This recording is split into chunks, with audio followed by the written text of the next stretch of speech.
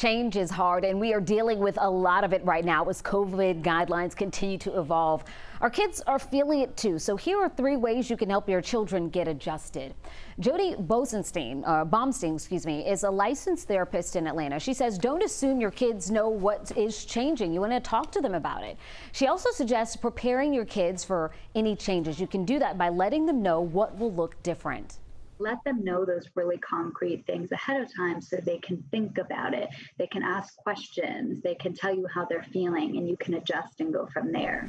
And finally, she says, teach your kids how to be resilient as they navigate all of this.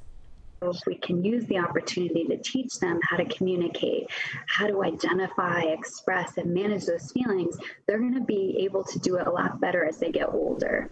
We're on just a few tips to hopefully help kids and teens have an easier return to Yeah, normal. that's right.